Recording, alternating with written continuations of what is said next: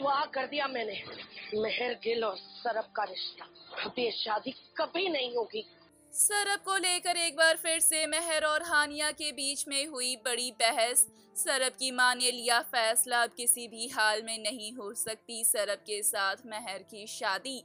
जी हाँ दरअसल हम बात कर रहे हैं कलर्स टीवी शो उडारियाँ की, जिसका आने वाला एपिसोड काफ़ी ज़्यादा इंटेंस होने वाला है। शो के अपकमिंग ट्रैक में हम देखेंगे कि किस तरीके से हानिया महर को समझाने की कोशिश करेगी और बतलाएगी कि सरब पर इस तरीके से इल्ज़ाम लगाना बिल्कुल भी सही नहीं है और ना ही महर को सरब की माँ के साथ सभी मेहमानों के सामने बदतमीजी करनी चाहिए थी।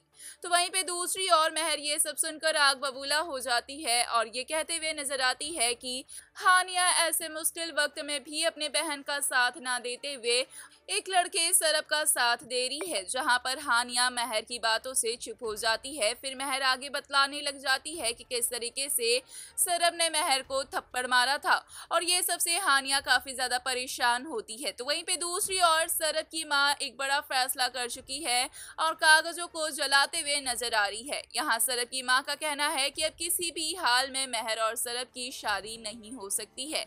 वहीं ये फैसला सुनकर सरब काफ़ी ज़्यादा मायूस है, क्योंकि सरब कहीं ना कहीं महर से प्यार करने लगा था। वेल तो इस पे क्या है? आपकी राय आखिरकार कुदरत और किस नए मुकाम पर ले जा पहुंचाएगा सरब और महर का ये रिश्ता? हमें कमेंट के ज़रिए अपनी राय ज़रूर बताएँ। क्या कुछ लगता है आपको? और साथ ही टेलीविज़न से जुड़े ऐसे और लेटेस्ट अपडेट्स के लिए चैनल को सब्सक्राइब करें।